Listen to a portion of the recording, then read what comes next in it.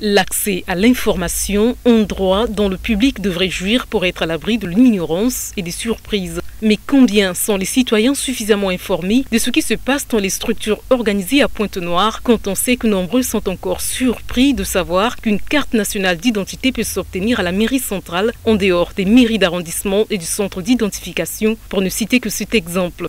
Je ne suis pas informé, je ne savais pas qu'à la mairie centrale, on pouvait faire la demande d'une carte d'identité on n'est pas informé, c'est pour ça que la, population ne peut pas s'y rendre pour euh, faire les demandes de carte d'identité. Encourager les citoyens à participer à la vie publique en mettant à leur disposition l'information nécessaire permet à ces derniers de jouir ainsi de leurs droits civiques. La population a droit à informer. Parce que chez nous, en Afrique, surtout au Congo, c'est manque de l'information. Pour que la population soit vraiment informée, il faut que ça commence par euh, les, administrations. Le droit à l'information est important pour tout le public, toute la population. Car sans information, euh, le public n'est pas informé, c'est dangereux.